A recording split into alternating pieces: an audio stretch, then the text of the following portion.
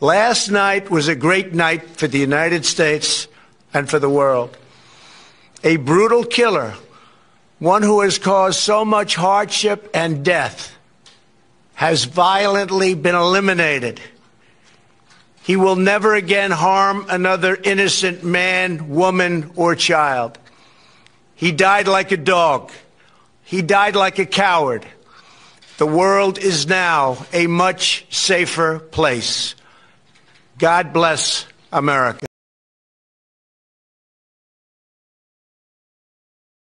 White House this morning the death of ISIS leader Abu Bakr al-Baghdadi during a U.S. special operations raid in Idlib, Syria. Al-Baghdadi is believed to have detonated a suicide vest he was wearing when the U.S. Special Mission Unit carried out a ground raid targeting the ISIS leader in a compound.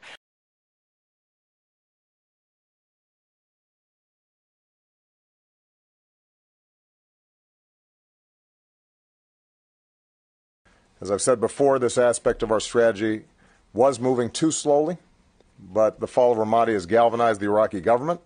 So, with the additional steps I ordered last month, we're speeding up training of ISF forces, including volunteers from Sunni tribes in Anbar province.